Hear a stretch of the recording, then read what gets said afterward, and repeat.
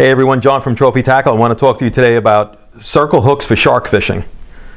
New York State Legislature passed a law that requires fishermen that are fishing in New York State waters to use circle hooks for sharking.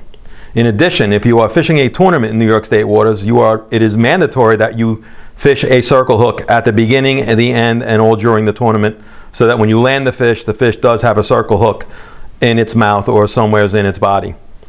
Um, Circle hooks for shark fishing is no different than using a circle hook as you would for striped bass, bluefish, or a tuna fish. It just takes a little different technique than what most of us in the Northeast here have been used to using for sharks with the old J hook. Three different styles of circle hooks I have here, or as a second hook, possibly like in a bluefish towards the tail. The second hook is the Eagle Claw L2045G. This one happens to be in 20 aught. And again, it's a very nice hook, light wire, super strong, tempered, um, black alloy finish. We like the, this hook a lot since it's such a small, lightweight hook. And again, you can use this in many different applications when you're rigging your baits. And last but not least is the old granddaddy of circle hooks for shark fishing and for tuna fishing. This is the Mustad 39960D in 20 aught as well. Much thicker wire than compared to the Eagle Claw.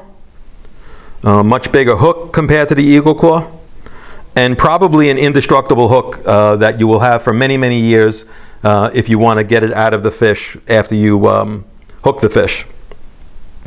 The key to using circle hooks is understanding how the hook actually operates, and that has to do with the hangnail. The hangnail is what is going to allow the hook to turn into the fish's jaw.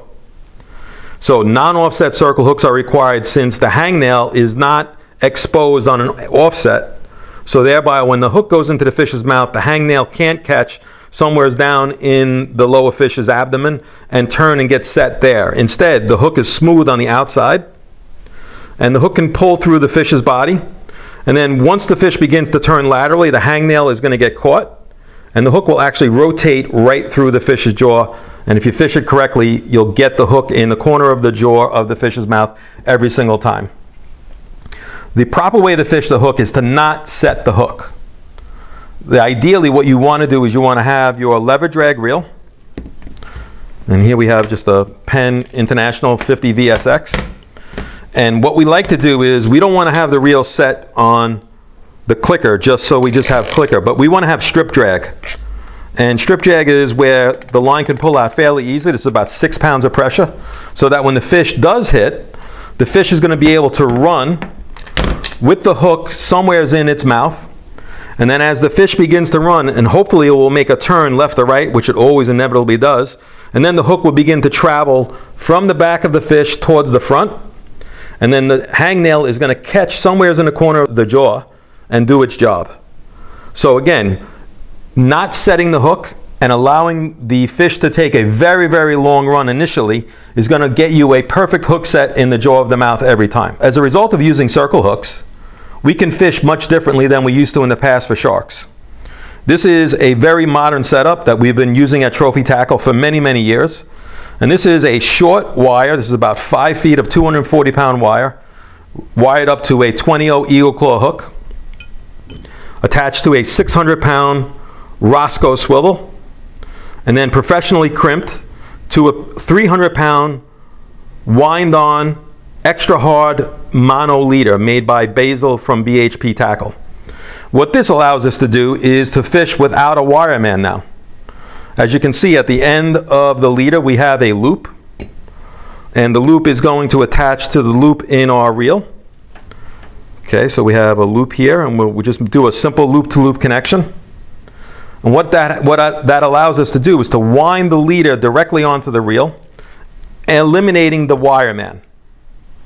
So if you're fishing short-handed, if you're fishing with an inexperienced crew, this is a superior way than fishing the way we used to with seven feet of cable to five or six feet of 240 pound wire.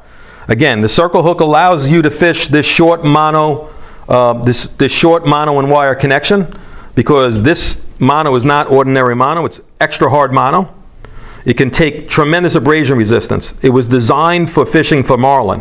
It is the premier leader when people are marlin fishing with lures or with dead baits. Um, I've used this system going on about 15 years now with circle hooks. And, you know, I've placed uh, three times in the Hudson Anglers tournament. I've won the Hudson Angler Calcutta three times.